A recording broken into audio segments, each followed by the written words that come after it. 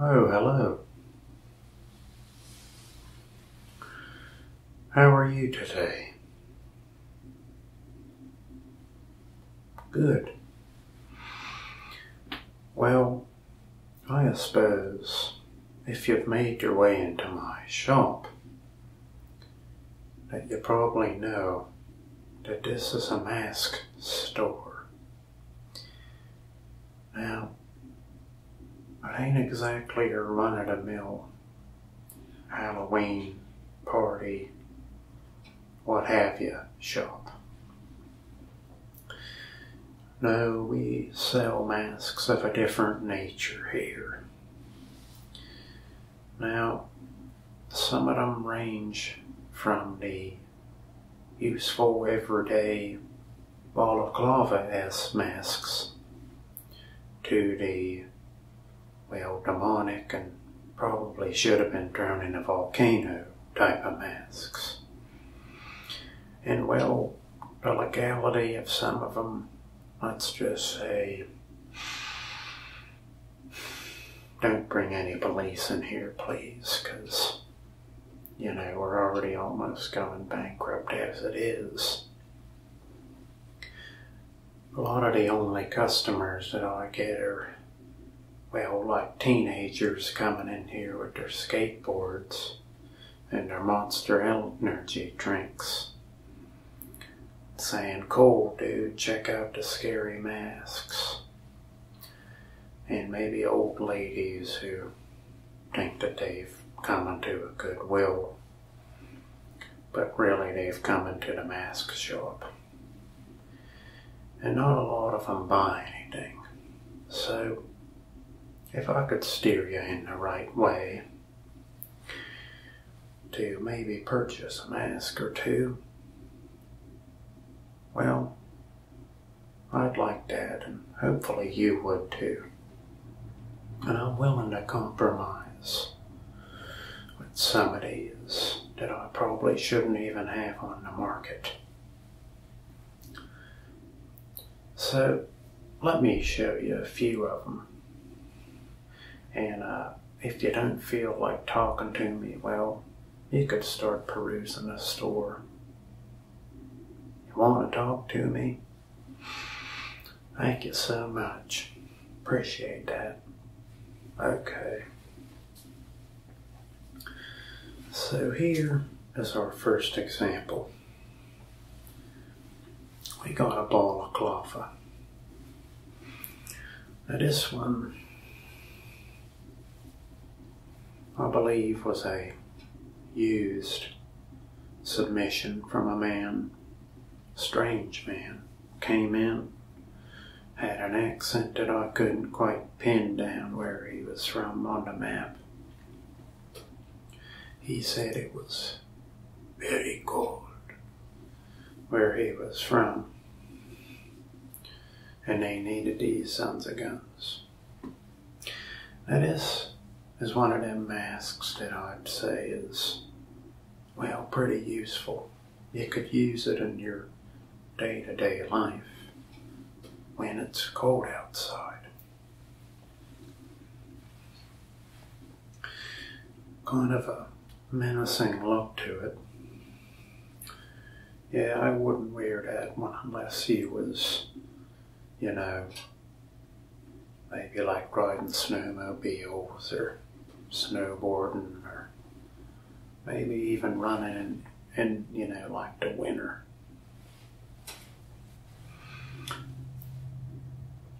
You know, almost looks like a motocross mask. And that one, well, it's one of them everyday type of masks. Nothing too special, but functionality over anything else. I'd tell you something, I'd wear it. So that retails at about fifteen ninety nine and them cloth fibers are, you know, they'll keep all the rain out and all the cold weather. Don't want to wear this in the desert. Trust me, I tried. And let's just say they found me three days later drinking out of a lake. But it really wasn't a lake, it was, well, a sand pit, and I had a mouthful of sand. It was one of them mirages that they talk about. But we don't talk about that anymore.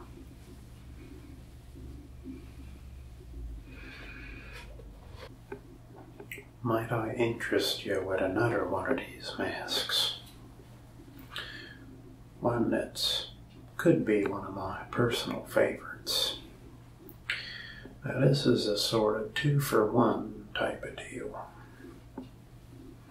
And it's your average clown mask. Now, if you would have worn this maybe about a year or so ago, you might have been run out of town with a pitchfork.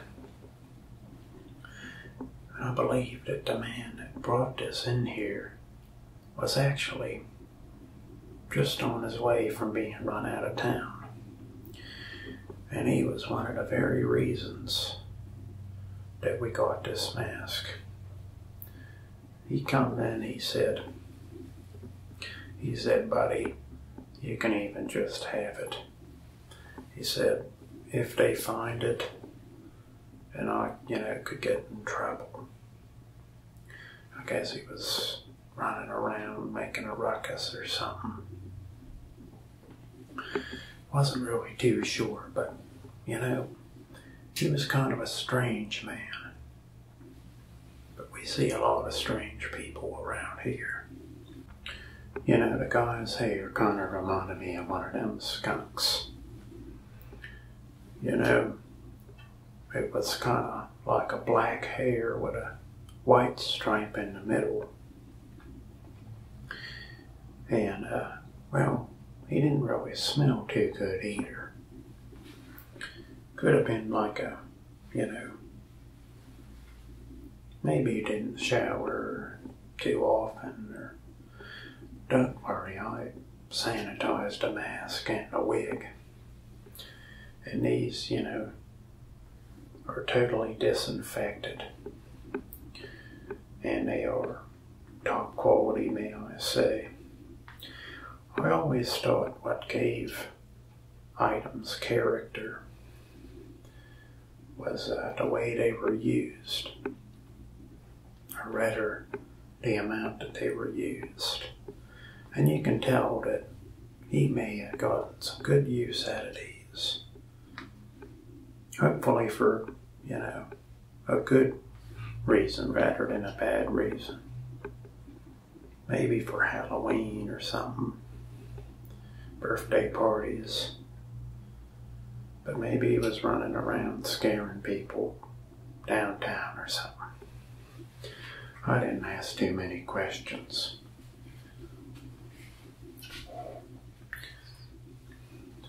So, what are you thinking about these two masks that I've shown you so far?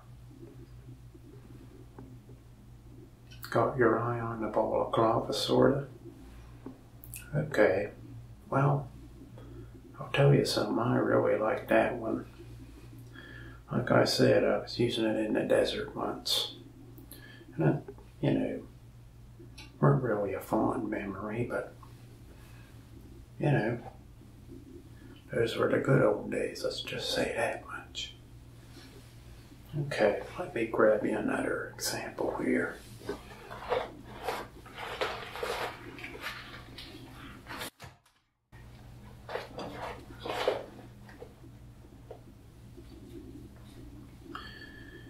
So this one, this one begins some of the masks that are, well, probably not a good idea to keep on the shelves. You know, there was this pizza place they had, and they had all of these animatronic figures in that shop. And, uh, well, it was rumored that them figures was haunted. And some bad things happened in that pizza shop, and I think they may have even closed it down. Well, we had a man come in here. Strange man in a purple suit. He said, I gotta get rid of this mask. He said, It is evil, and any of those who may wear it take on the persona of the animatronic figures from that pizza shop. Well, I didn't take my chances putting it on due to the simple fact that, well, I like how I am. And I ain't really interested in becoming some kind of animatronic animal, you know. I was born this way, the way I look, and I'm happy with that. He was in a, you know, trying to get out of here pretty quick. Said something about, I gotta get rid of this Freddy mask. You know, I gave him like 40 bucks for it. Just because of the simple fact that, well, you know, it seems like a good mask. And I believe I'd sell this one for about 200 bucks. Now it makes me feel kind of bad marking up the price that high. But, you know, at the end of the day, this is a business. And, you know, I like to be a nice, honest, reasonable guy. But I just had to mark it up. And I'm sorry if that makes you not want to buy this. But to be honest, this is one of them masts that I hope that nobody ever purchases. In fact, I was about to throw it in, you know, like the fire the other night.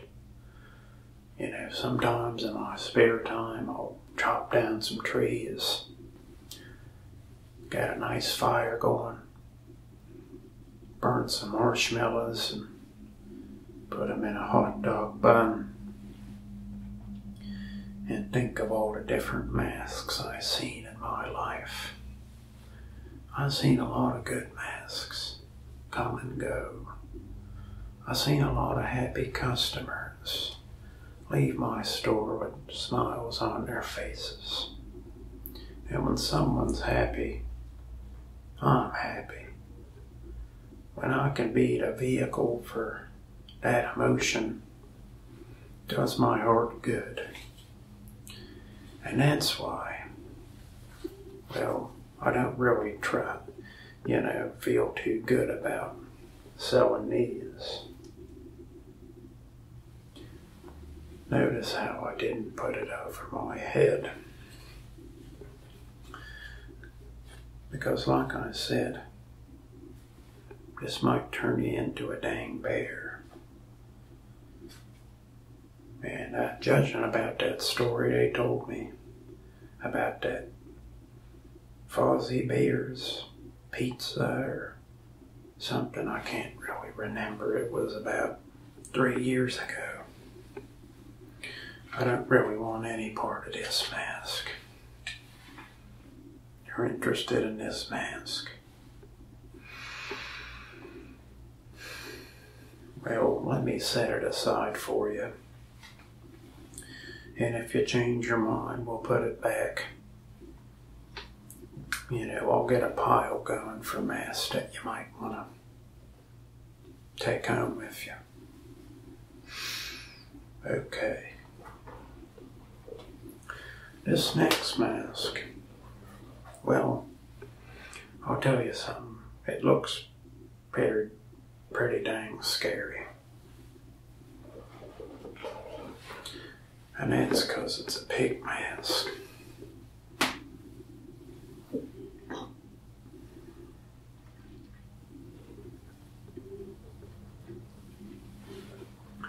I sometimes look at this mask. You know, I call this Mr. Bacon. Not to be confused with Kevin Bacon, but rather, you know, just like Mr. Bacon. Say, Mr. Bacon, what's shaking? And he says. He's got a weird voice. But a lot of people have weird voices. Well, ain't nothing bad about this one, if you asked me. A man who was a pig salesman brought this in, and he said, Sir, he said, I use this mask to, uh, well, to make my pigs happy. I put this thing on. I go in the pig pen. I splash around in the mud. And I have a great time doing it. And I thought to myself, well, that's a little strange, but, you know, as long as no one's getting hurt, well, sounds fine to me. Anyway, he said that when he'd jump in that pig pen, them pigs would be well happier than a pig in you know what, as the old saying goes. So there's the pig mask. I believe this one is kind of like imbued or got like the essence of happiness in it. And it's funny due to the simple fact that, well, it looks a little bit scary, but if there's something that I learned in my life, it's that, well, looks can be deceiving sometimes. And, you know, never judge a book by its cover. But sometimes we're always guilty of doing it. That one, you know, I'd say that's about 70 bucks. 70 bucks. What'd you say? You're rich. Almost lost my mask there. One thing about these that I try to do is I try not to let them hit the ground or anything like that. Because if you'll believe it, well, like I said, these masks, some of them can like sort of give you strange powers and all that. And it just so happens we got a rat infestation around these parts. And if one of them suckers gets in that mask, well, we got a real dang powerful rat running around now, don't we? And I don't trust it as far as I can throw it. And that's a promise. So, I realize some people may feel uneasy when they come in here, you know. A mask shop kind of sounds a little scary. But like I said, you know, I'm pretty passionate about what I do and my knowledge base of all these masks. And you know, the, the joy they make certain people feel or the history behind them. Now this one, I believe, a beauty queen used to wear. I thought it was strange, just due to the simple fact that, like, you know, she looked fine. But she said, This mask gives me confidence. She said, I won like 7,000 beauty contests with this mask. And she said that the prize for each of them was pretty high. And it, it sort of turned into like a good luck kind of thing. So she always wore a lucky mask, as she put it. And this is another one of them kind of freaky ones. You know, kind of lifelike. It even makes me uneasy, and I've seen a lot of stuff around here. But to take the sort of like some of the scary away from it, every now and again I'll say, You got any good buggers up there? Guess not. Never does, but you know, helps take away some of the fright for this one. Well, that girl, you know, she's been in here a few times since. She bought quite a few of my masks. And, you know, pretty loyal customer. Always gives me good conversation. Kind of like you're giving me now. You know, just, you know, like kind of nice human interaction. If I can be honest, gets a little bit lonely in this store sometimes. And well, people coming in is always a joy. This one I say I'd sell for about two thousand bucks.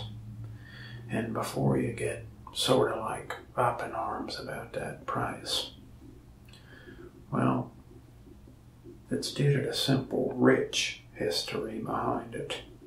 And when I say rich history, well, literally rich history.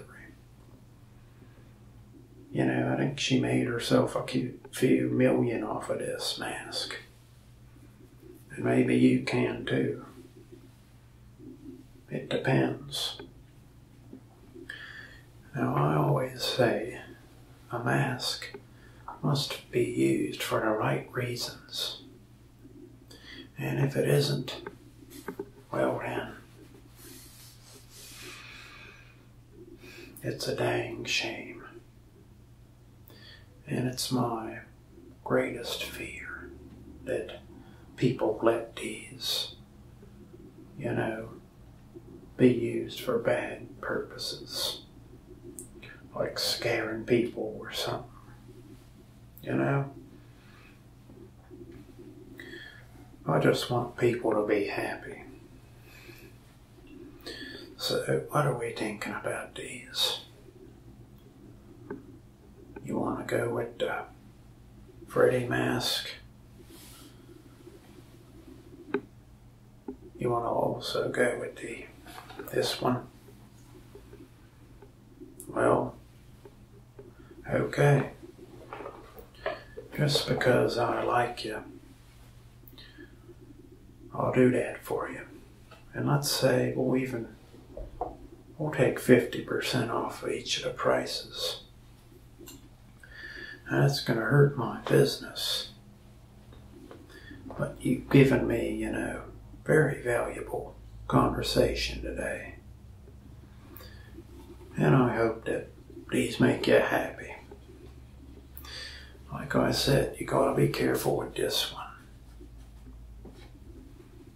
Okay? This one. Interesting choices you made. Well, I suppose we'll ring you up and these in a nice bag. Since they're latex, I usually like try to put them in a nice bag with some newspaper in it. Guess it's supposed to like make them last longer or something like that. Well, thank you so much for coming in here today and I hope you'll visit again. It's been my pleasure showing you some of these great historic masks. And I hope I see you again pretty soon. I'll bag these up for you. You know, we take like cash or card. I think the only thing we don't take is maybe like euros or something And I'm sorry about that, but the exchange rate is sort of like high around these parts.